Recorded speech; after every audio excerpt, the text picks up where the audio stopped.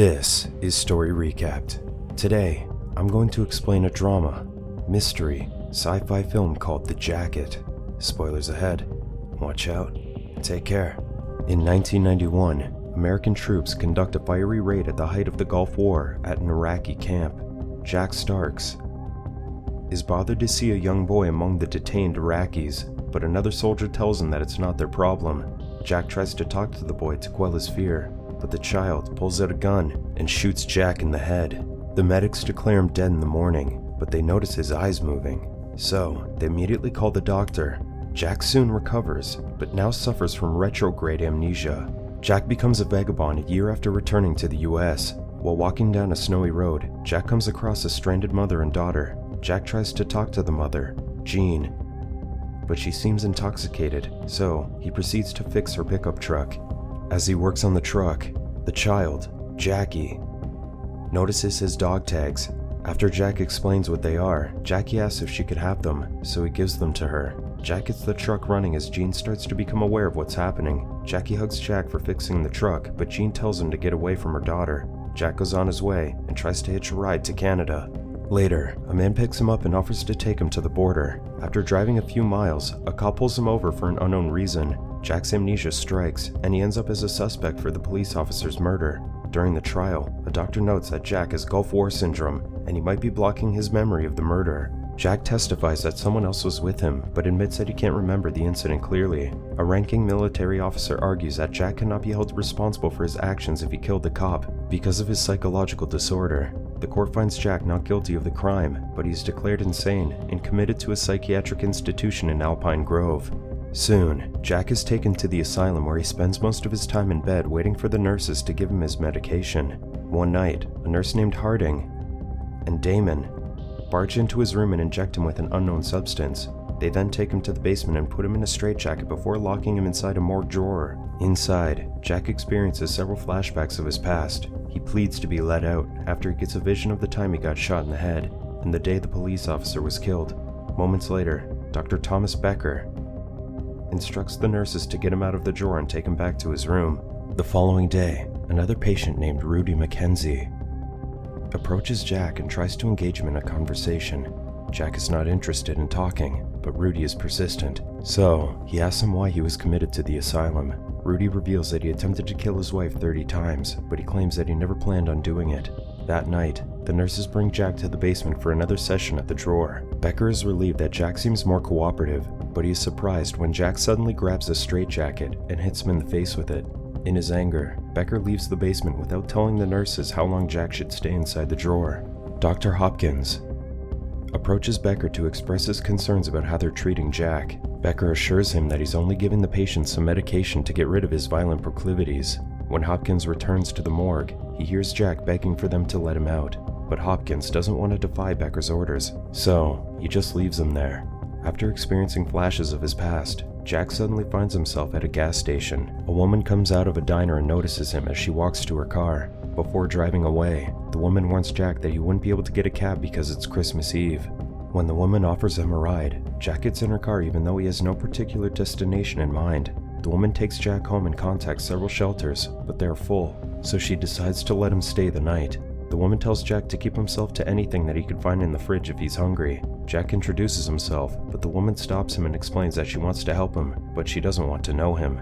As Jack looks for food in the fridge, he notices a rock with the word Petal etched on it. When the woman returns from a bath, she finds that Jack has prepared a sandwich for her. After eating their meal, Jack mentions the rock he found in her freezer. The woman is upset at him for snooping, but she discloses that Petal was the nickname that her mom gave her long ago. The woman soon passes out after a few drinks. As Jack looks around the house, he notices his dog tags hanging on the wall. He realizes that the woman is Jackie when he sees an old picture of her with Jean.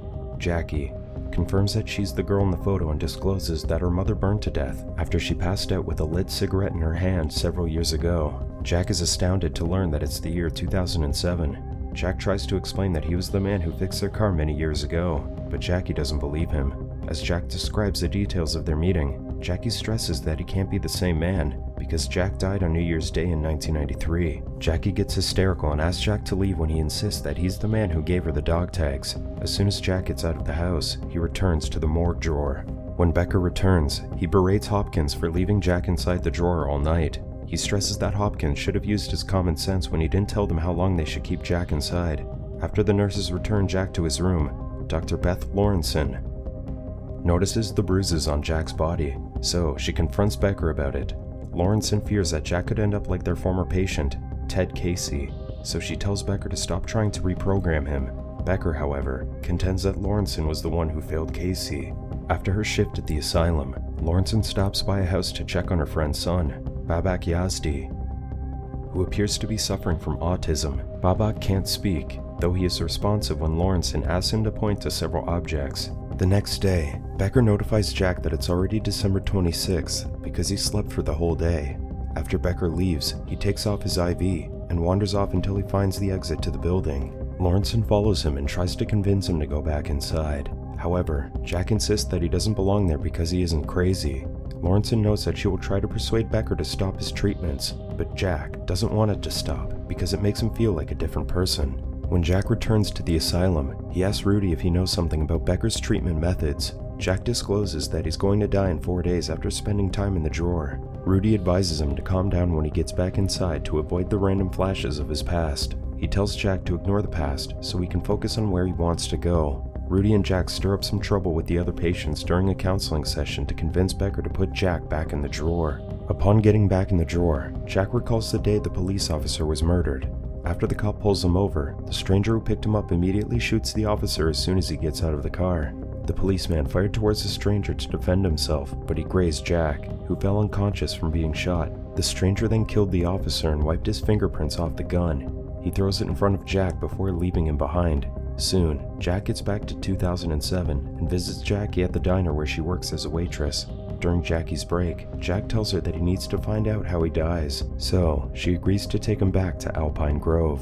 At the hospital, Jack pretends to be his own nephew to convince the staff to give him information about his death. A doctor reveals that Jack died of blunt force trauma, but there are no other details about his death. The two ask him about the psychiatrist who treated him, but the doctor reveals that only Lorenson still works at the hospital. When they meet Lorenson, she discloses that Jack was her most memorable patient because he helped her treat Babak. However, Lorenson couldn't provide more details about the trauma that killed Jack.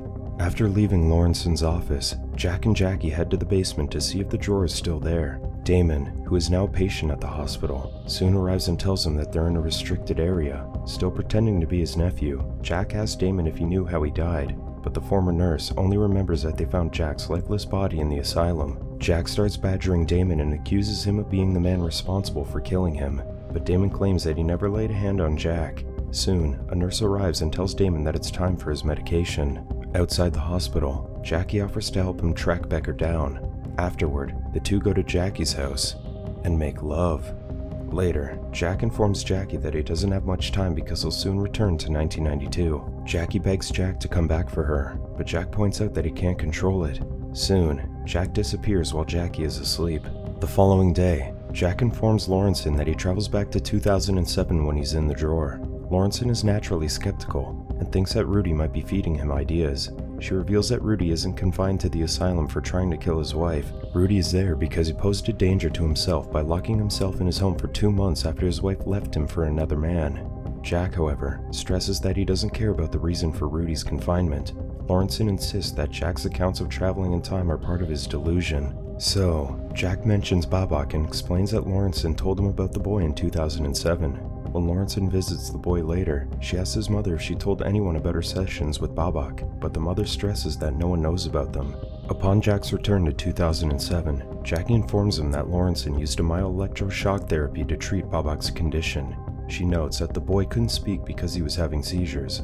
Later, the two head to Becker's house, but a neighbor notes that he went to church. When Jack confronts Becker about his death, the doctor claims that the treatment might have pushed Jack to kill himself. Jack points out that he couldn't have taken his own life because he died of blunt force trauma.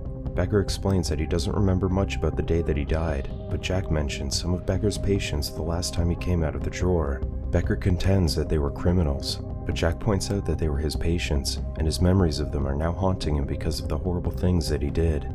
After Becker leaves, Jack suddenly feels weak after getting a vision of his past. He surmises that he's being pulled back to 1992, so he asks Jackie for her address when she was a child. When Becker pulls him out of the drawer, Jack tells the doctor the names of his former patients and notes that the memories of his patients will stay with him for the rest of his life.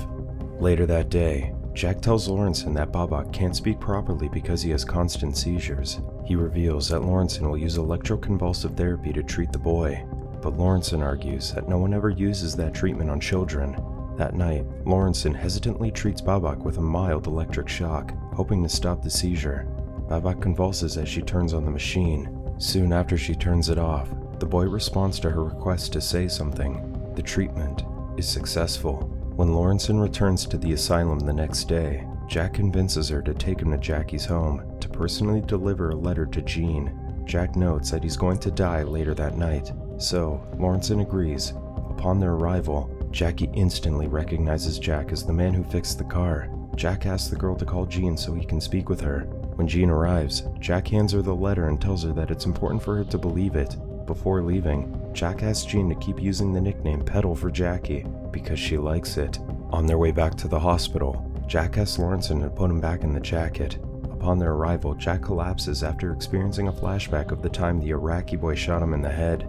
As his head bleeds, he reiterates his request to put him in the jacket.